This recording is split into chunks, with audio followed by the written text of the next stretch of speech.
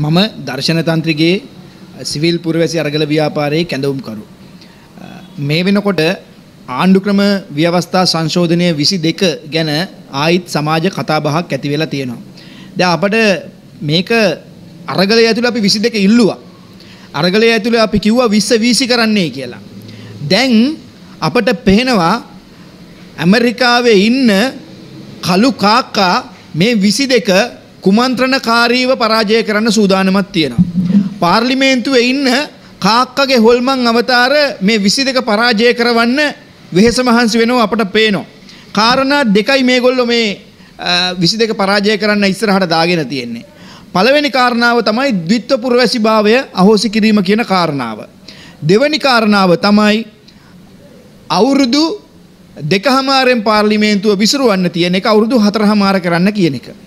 තර පළවෙනි එක තමයි අපි කියනවා ඔය ඇමරිකානු කාක්කා මේ මාතෘභූමියට ඔච්චරටම ආදරේ නම් තමන්ගේ දිත්වපුර ඇසිබාව යහෝසි කරගන්නවකු. හරි? මිලියන විසි දෙකයි දසම පහක ජනතාව ගැන හිතලා තමන්ගේ පුරවැසිභාවය අහෝසි කරගන්න බැරි ඇමරිකානු කාක්කයක් වෙනුවෙන්ද මේ වලව්වල පිඟන් හෝදන්න මේ සාගරකාරියෝ සම්ලා? අපි අහන විරිලැජ්ජයි. නීතිඥ මහත්තයෙක් නේද සාගරකාරිය සම්මහත්තයා? මේ කට්ටිය විරි ලැජ්ජාවක් නැතුව පෙනී ඉන්න ඇමරිකන් කාක්කෙක් වෙනුවෙන් හරි දෙවැනි එක තමයි අවුරුදු දෙකහමාරෙන් ව්‍යවස්ථාවේ තියෙනවා දැන් තියෙන ව්‍යවස්ථාවේ පාර්ලිමේන්තුව විසිරුවීමේ බලය ජනාධිපතිවරයාට තියෙනවයි කියලා මේ කණ්ඩායම කියනවා දැන් මේක අවුරුදු හතරහමාර කරන්නයි කියලා. අවුරුදු හතරහමාරට තිවිච්ච එක අවුරුදු දෙකහමාරට ගෙනාවේ මේ අප්පුහාමිලා ටික තමයි. වෙන කවුරුවක්වත් නෙවෙයි. ඒ හින්දා Taman ගෙනාපු එක මේක විරලැජ්ජ නැති වැඩක්. හරි ඉස්සෙල්ලා 19ට අත උස්සනවා. 19ට අත උස්සලා අවුරුදු හතරහමාරෙන් පාර්ලිමේන්තුව විසිරවන්න ඕනි කියලා එකඟ වෙනවා. ද්විත්වපුර වැසිභාවය අහෝසි කරන්න ඕනි කියලා එකඟ වෙනවා.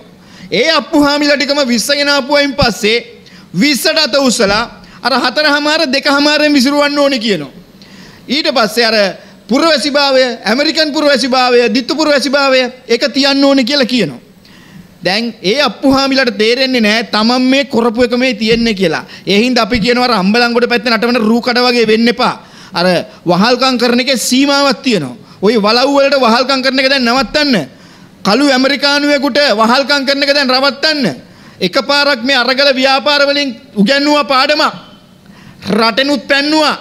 ඒක අමතක වෙලා අපි කියනවා අපි දිගින් දිගටම ආකණ්ඩව පෙනීනවා මේ ව්‍යවස්ථා සංශෝධනය වෙනුවෙන් මේ විසි දෙක ව්‍යවස්ථා සන්දෝෂණය සංශෝධනය අත උස්සන්නේ නැතුව ගම්වලට එන්න ලෑස්ති වෙන්න එපා කියන එක අපි අනතුරු අඟවන ওই පොහොට්ටුවේ ඉන්න උන්න හෙලට.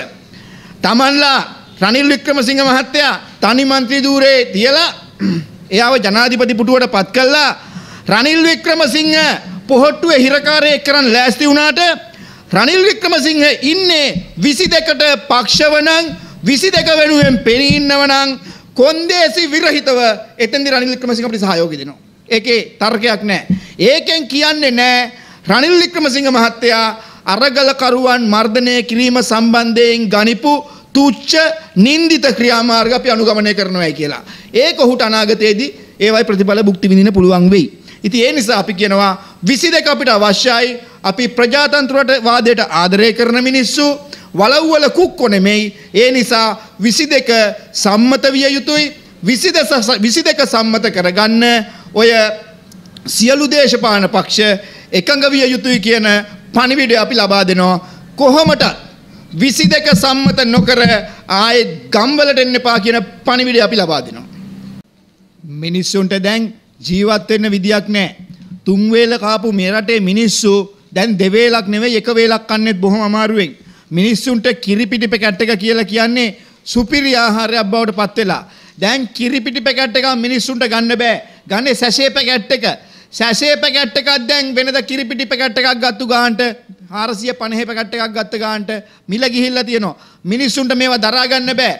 තව ටික දවසකින් මිනිස්සුන්ට කිරි පිටි වෙනුවට දරුවන්ට පොල් කිරි තමයි දෙන්න වෙන්නේ. ඒ තත්ත්වයට ගිහින් තියෙනවා දරුවෝ රවට්ටන්න සිද්ධ වෙනවා. නැත්තම් මිනිස්සුන්ට මහපාරට පැනලා හොරකම් කරන්න සිද්ධ වෙනවා. මේව පාර්ලිමේන්තුවේ ඉන්න අප්පුහාමිලට තේරෙන්නේ නැහැ. මුම් මරා ගන්නවා. මුන් දෙපැත්තේ රෙදි ගලව ගන්නවා. එකෙක්ගේ ලයිට් බිල ගෙව්වේ නැහැ කියලා එකෙක් ඇවිල්ලා මැරෙන්න හදනවා. මරලා තෝනි දෙනවා. මේව රටේ මිනිසුන්ට අවශ්‍යයි. මිනිසුන්ට කන්න පුළුවන්, බොන්න පුළුවන් ආර්ථිකයක් හදන්න. කිරිපිටි සුපිරි ආහාරයක් වෙලා. පාන් ගෙඩිය සුපිරි ආහාරයක් වෙලා. ඒ හින්දා අපි කියනවා වහාම මේ සෙල්ලම නවත්තන්න. නවත්තලා මිනිස්සු ගැන හිතන්න ඡන්දේ කාලෙට කරන බඩු මිල අඩු කිරීම ඔය සෝබන වලට අහු වෙන මිනිස්සු දැන් නැහැ. ඒ හින්දා අපි කියනවා වහාම අප්පුහාමිලා නිවැරදි වෙන්න.